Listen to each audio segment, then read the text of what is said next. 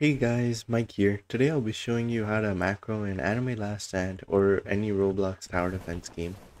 I'll be showing you guys what tools you need, like some tips and tricks, and the best settings to be macroing with.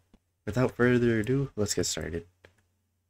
Alright, just a quick disclaimer before I start today. Uh, this tutorial only covers on how to macro with a PC or a laptop. You won't be able to do this on mobile or console. But if you'd like a mobile tutorial, uh, please let me know in the comments and I'll, I will get to work on that. Uh, I have a few ways to do it on mobile as well, so please let me know. Thanks. Alright, so first off, what you're going to need to do is download the macro software. Uh, you'll technically only need one app to be doing this uh, macro, which would be TinyTask. If you guys haven't heard of TinyTask, it's a program that basically records and repeats actions and it just repeats your keyboard and mouse inputs. Uh, using the link in the description or just searching up TinyTask, you can find the first link that shows up on Google and download using this version 1.77 button. At the time of the release of this video, this is the earliest version. Another program that I use but it isn't specifically required is Screen Marker and Recorder. What it basically does, it lets you draw over your screen without pressing on it which makes it easy to like mark down locations or buttons you need to press during your macro. If you if you'd like to download, it's available on the Microsoft Store and you can just press this button to download it. Alright, after having everything installed, what you need to do is set up the apps properly so that your macros don't mess up. So first we'll start with TinyTask. What you want to do is go into this preferences cog right here and you'll see a few settings here like the playback speed it sets continuous playback, continuous playback loops, um, recording hotkey, playback hotkey, and then just a few other small like quality of life settings. Personally, uh, I change this based on the macro I'm doing, depending on how fast you want it, how small the macro is, and like how many steps it has. The more steps it has, the higher speed I set it to. So if it's like a raid macro, I'll put it between 8 and 20 times.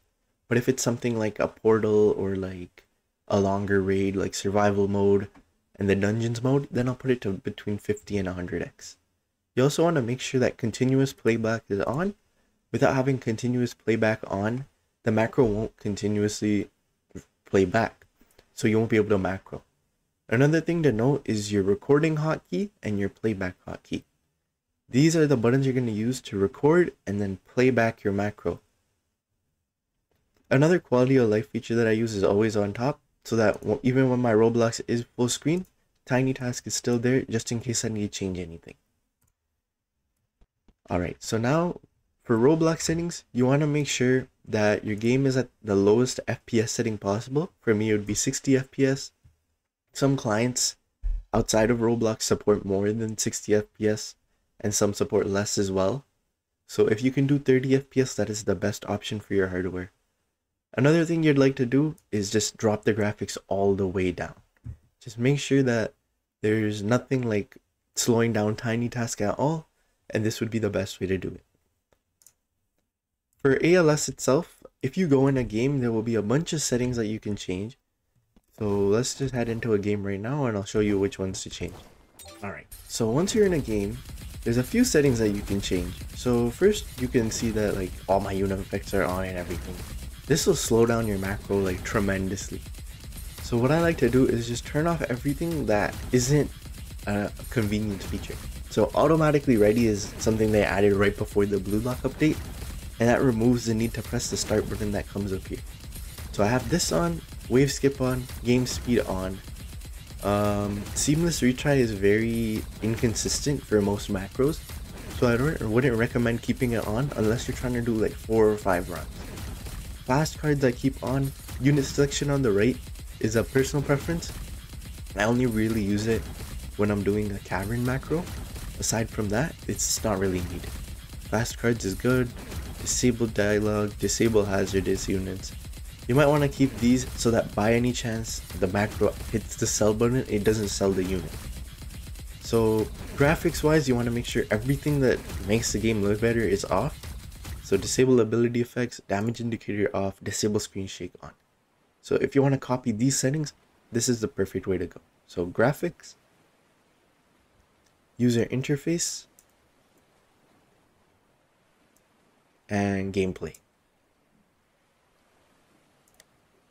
Alright, so with that out of the way, let's get into what units you should be using for macros. Alright, to be making good macros, what you want to do is to make sure you have some sort of opening unit that can do really good damage.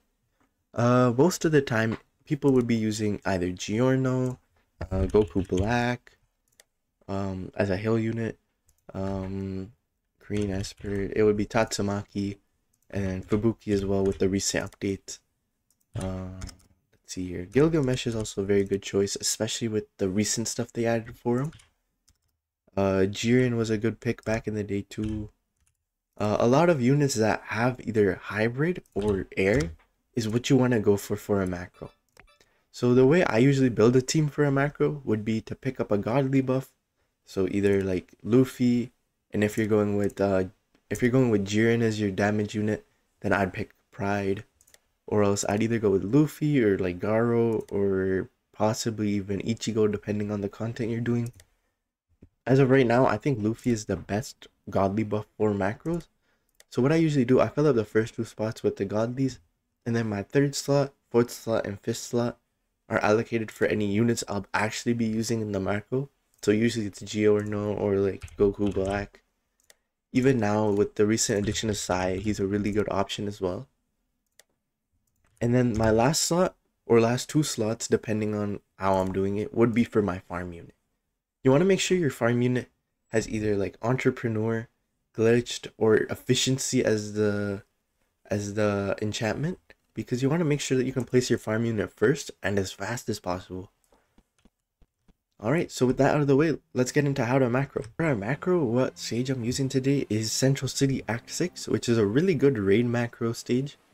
So usually what you, what a macro would do is just place your farm here, place a place a DPS here or here depending on if it's a hill or a ground, and then just upgrade both of them, hit retry, and then just go again.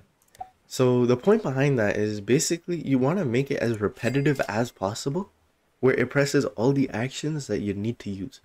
So most macros that consist of first pressing the retry button, pressing any of the menu buttons that pop up, and then placing your farm, placing your DPSs, and then upgrading them, and then just stopping there. So the way I do it with screen marker and recorder uh, I usually just draw down like where I'm placing my units just like this. And then once the stage is complete, I find where the retry button is. And then I just press the retry button and then I call it a day there. So another thing I like to mark as well is the upgrade buttons. I use like dots, lines, and squares depending on what it is. Lines are like buttons I'm pressing, dots are like units I'm placing, and squares are the retry buttons and the menu buttons. Um, it's also a good thing to note that you should be remembering the hotkeys for things, where like placing a unit would be one, two, three, four, five, six, like this. One, two, three, four, five, six, and the the unit manager key being F, and then the upgrade buttons, like the locations of the upgrade buttons, or if you choose to press on a unit, T to upgrade, and V to sell. Other than that, it's really basic to learn how to macro. You just need to know what buttons to press and at what time. So once this stage ends, we'll go through how to actually record a macro. Great, so now that the raid is ended, what you want to do is make sure you mark where your retry button is, either by like just remembering the location of the button, which is what most people do, or just marking it like I did. So what I have here is I set up the macro where it is a hill unit, a ground unit, and then my farm, and then I just upgrade the three and reset. So as before, you want to just remember what your playback and recording hotkey is, and what we're basically going to do, we're going to press the record hotkey, place down my farm, place down my my DPS, place down my other DPS, press F, upgrade, upgrade, upgrade, F again, spam the retry button, and then end the macro. A good rule of thumb is also to remember that you need to press the retry button either before or after you start the macro, depending on how many units you're placing. So if you're placing more than I'd say 4 units, press the retry button before you start. If you're placing like 3 in this example, then just place them after you start. Other than that, it's pretty simple the macro. As you see, it's clearly working right now. I'll just be running a quick um, speed run of this, just like a quick clip, and you can see the rest of it finishing.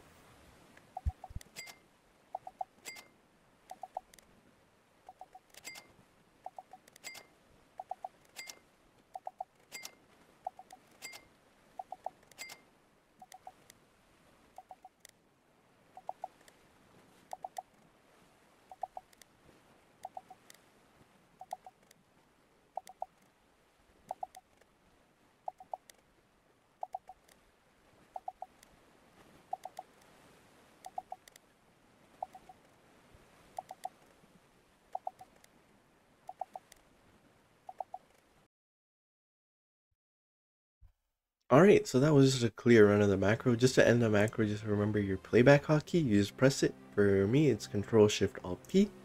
And that's about it for how to do the macro itself. Alright, hopefully you guys enjoyed this video. So that's basically how you make your macros. Just be thoughtful on how your placements are and how repeatable the situation is. Some macros I wouldn't recommend doing are like the Titan Boss Rush macro and uh, some of the portals depending on how bad the portal is. Um, like recently, the Love Portal, very macroable, very easy. Um, something like the Soul Society Invaded Portal for Reiatsu is a little more difficult, but it, it could be done depending on how you do. If you have any questions, feel free to either drop a comment below or join my Discord server. Both will be in the description. And please leave a like and subscribe if you enjoyed this video and would like to see more ALS content. I will be going over some of the blue lock units from this update and some other content as well. I'll be posting more tutorials in the future, and if you'd like a macro for mobile, please let me know and I will be releasing a tutorial. Well, that's all from me guys. Thank you.